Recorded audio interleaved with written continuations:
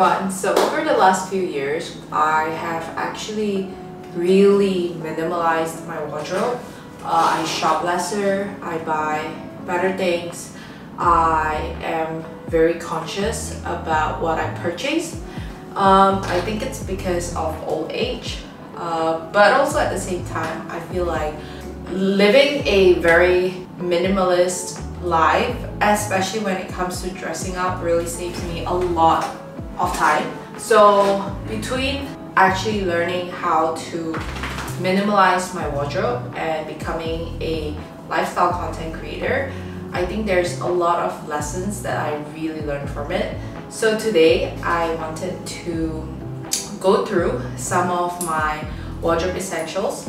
Uh, I got a challenge in which if I only had 10 items in my wardrobe, what would it be?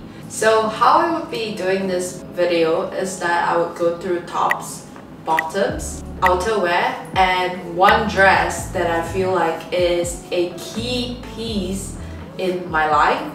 And it is so versatile you can dress it up or dress it down. So let's go all right to start with tops specifically i'm wearing one essential top that i would bring if i were to suddenly move to another country and that would be this white tank top. Um, i also have four other uh, three other tops that i have here. Um, they're mostly long sleeve because i feel like long sleeve tops are easier to be casual and easier to actually be semi-formal. So I have one um, cardigan top from Love Bonito, a shirt from Three Monkeys. This one is very unique because the button placement helps create different looks but overall it's a simple oversized shirt that you can wear for any occasions. And lastly, this long sleeve navy top that I got from COS. This material is, I think, I think it's a combination of maybe scuba polyester. But this one, the material, it looks very, very formal. Um, I'll show you later.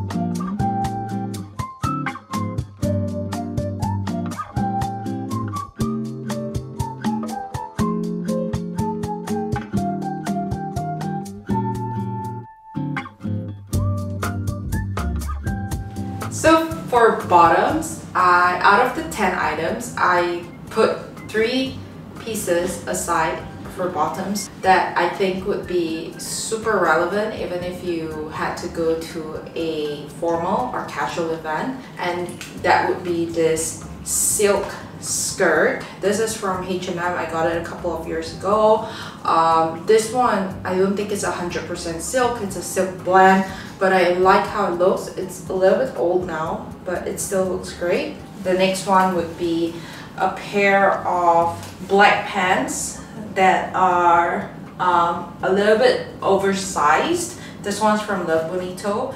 Uh, Love Bonito makes really good um, clothes for the Asian uh, fit.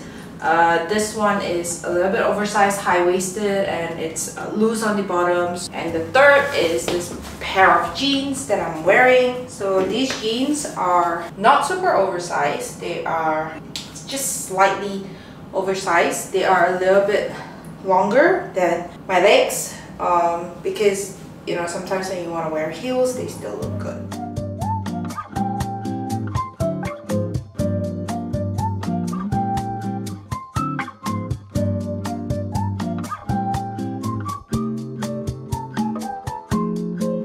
Alright, out of the 10 items that I would bring or in building a capsule timeless wardrobe is of course outerwear.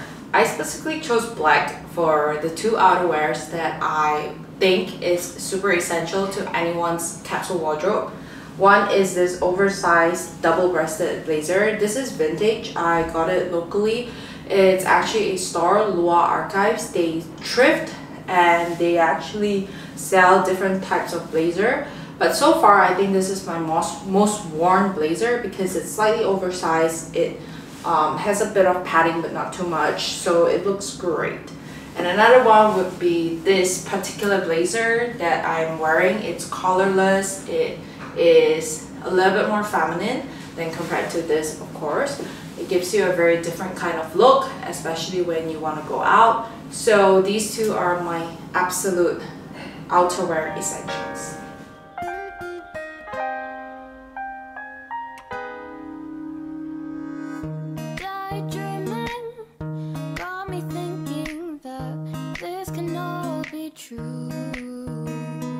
Alright, lastly, if I had to elope today and only bring 10 items, 10 clothing, I think this dress would really, really, really fit into like a timeless capsule wardrobe.